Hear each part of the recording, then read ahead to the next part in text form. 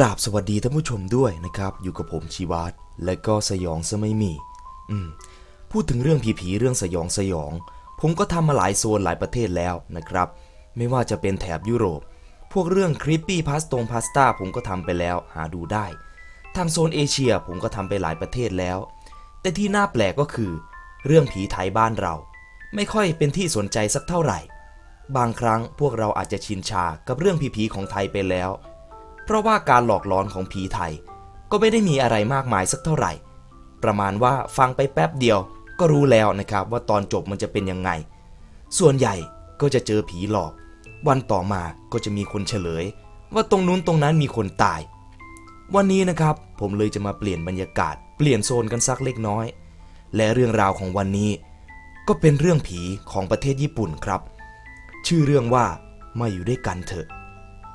เรื่องราวมันจะเป็นยังไงนั้นนะครับ ไปดูกันเลย เย่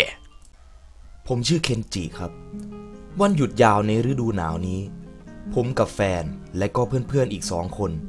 ซึ่งเขาก็เป็นคู่รักเหมือนกัน ก็ได้วางแผนว่า พวกเราจะไปเที่ยวกันที่ฮอกไกโด เมื่อนัดแนะกันเสร็จจัดเตรียมข้าวของเรียบร้อย ก็พากันออกเดินทาง ผมได้ฟังพยากรณ์อากาศก่อนออกเดินทาง ซึ่งเขาก็บอกว่า วันนี้อากาศค่อนข้างแจ่มใส เหมาะแก่การออกไปเที่ยวนอกบ้าน ถึงแม้ว่ามันจะหนาวสักหน่อยก็เถอะ พวกเราขับรถมาเรื่อยๆ ก็คุยกันสัพเพเหระ มีอยู่ช่วงหนึ่ง ผมก็ได้ถามแฟนผมไป เกี่ยวกับชีวิตครอบครัว นี่ฮิโตมิ งานการของเราก็ดีหมดแล้วนะ เงินดงเงินเดือนอะไรก็ดีแล้ว รถก็มีขับแล้ว คิดว่าเมื่อไหร่เราทั้งสองคนจะมีลูกกันล่ะ โถตาบ้าพูดอะไรไม่รู้ นายก็รู้นี่ว่าพวกเรายังไม่พร้อมเลย เธอตอบผมแบบเขินอาย พร้อมกับถามทาเคชิ กับยูกะที่นั่งอยู่ด้านหลังว่า เอ้ยแล้วพวกเธอสองคนล่ะ เมื่อไหรจะมีลูกกัน ทั้งสองคนไม่ตอบ ทั้งสองคนก็เงียบไปสักพัก แล้วก็พยายามเปลี่ยนเรื่องคุย ซึ่งผมก็ไม่ได้คิดอะไรมาก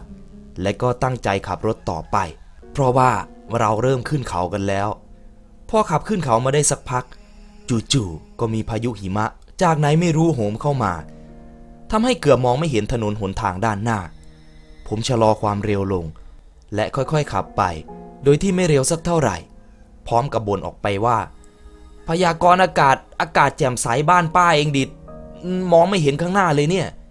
พูดไม่ทันขาดคำจู่ๆก็มีเด็กจากไหนไม่รู้ วิ่งมาตัดหน้ารถผม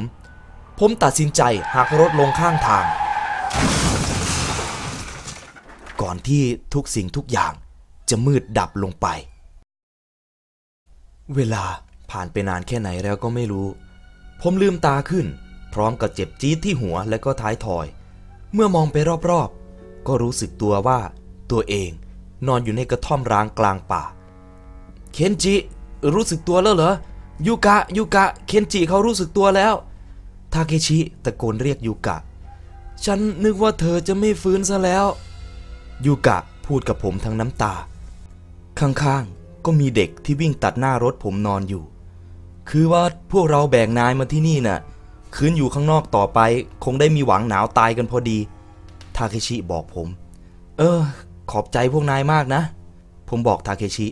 พร้อมกับกวาดสายตาไปรอบๆ นี่แล้วฮิโตมิล่ะ เธออยู่ไหน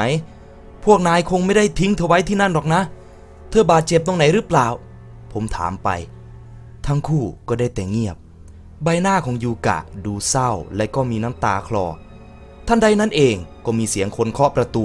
และตะโกนมาว่า เคนจิ เธออยู่ข้างในนั่นใช่ไหม เปิดประตูหน่อย เสียงของฮิโตมินั่นเอง ผมรีบวิ่งไปที่ประตู แต่ยังไปไม่ได้ถึงทาเคชิกับยูกะก็ร้องห้ามเอาไว้ ไม่นะเคนจิ ห้ามเปิดประตูเด็ดขาด นายจะเชื่ออะไรเธอไม่ได้แล้ว เฮ้ย พวกนายพูดอะไรกันเนี่ย นั่นแฟนฉันนะโว้ย ผมตะโกนสวนออกไป ไม่นะเคนจิ เอ่อ ฮิโตมิเขาเขาเขาอยู่คนละฝั่งกับเราแล้ว ยูกะบอกผมด้วยน้ำเสียงที่โศกเศร้า พร้อมกับร้องไห้ออกมาอีกครั้ง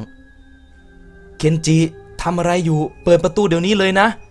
ฮิโตมิตะโกนกลับมา นี่ถ้าเธอตายไปแล้ว เธอมาที่นี่เพื่อจะเอาผมไปอยู่ด้วยงั้นหรือ มันเป็นไปไม่ได้หรอก เธอไม่ใช่คนแบบนั้นฮิโตมิทำไมถึงทิ้งผมไว้อีกฝั่งทำไมเราอยู่ด้วยกันไม่ได้ ผมตะโกนออกไปด้วยความเสียใจ เคนจิ เรายังอยู่ด้วยกันได้ เปิดประตูเถอะนะ ฮิโตมิบอกผมเบาๆ อย่านะ ห้ามเปิดประตูเด็ดขาด ทาเคชิกับยูกะ ก็ตะโกนห้ามผม ตอนนั้นผมรู้สึกสับสนมาก ผมไม่รู้จะทำยังไงดี ถึงผมจะรักฮิโตมิมาก แต่ก็ไม่รู้ว่าจะเกิดอะไรขึ้น ถ้าผมเปิดประตูออกไป ฮิโตมิเริ่มร้องไห้ และขอร้องให้ผมเปิดประตู เออแต่ยูกะกับทาเคชิบอกว่าเธอตายไปแล้วนะ ผมตะโกนถามเธอไป ทันใดนั้นฮิโตมิก็ทุบประตูแรงขึ้น แรงขึ้น และบอกให้ผมรีบออกมาซะ เคนจิ ฉันไม่ได้ตายนะ เพื่อนของเราสองคนน่ะ ทาเคชิกับยูกะต่างหากที่ตายไปแล้ว สิ้นสุดประโยคที่ฮิโตมิบอกผม ทาเคชิ ยูกะ และเด็กคนนั้น ก็คลานมาดึงขาดึงแขนของผมไว้ แล้วพูดพร้อมๆกันว่า มาอยู่กับพวกเราเถอะ ผมใช้แรงเฮือกสุดท้าย เปิดประตูออกไป และคว้ามือของฮิโตมิไว้ ผมฟื้นขึ้นที่โรงพยาบาล พร้อมกับฮิโตมิที่ได้แต่นั่งกุมมือของผม และร้องไห้อยู่ตลอด ผมรอดมาได้ เพราะความเชื่อใจในตัวฮิโตมิ และรู้สึกเสียใจที่ได้สูญเสียเพื่อนทั้งสองคนไป แต่ก็รู้สึกขนลุกทำไมทั้งคู่ถึงอยากชวนผมไปอยู่ด้วย แล้วก็ได้แต่สงสัยว่าไอเด็กคนนั้นมันเป็นใครกัน ผมก็นั่งนึกอยู่นาน จนผมจำได้ ว่าตอนที่เราเรียนมหาลัย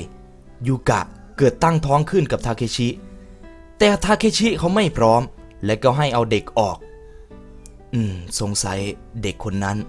คงอยากให้พ่อกับแม่ของเขาไปอยู่ด้วยละมั้งผมได้แต่คิดและก็ปลงตก เฮ้ย เหนื่อยจังแฮะ ลืมตาไม่ไหวแล้ว หลังจากนั้น ผมก็พลอยหลับไป โดยที่มีฮิโตมินั่งเฝ้าอยู่ข้างๆ แล้วจู่ๆผมก็ได้ยินเสียงเด็ก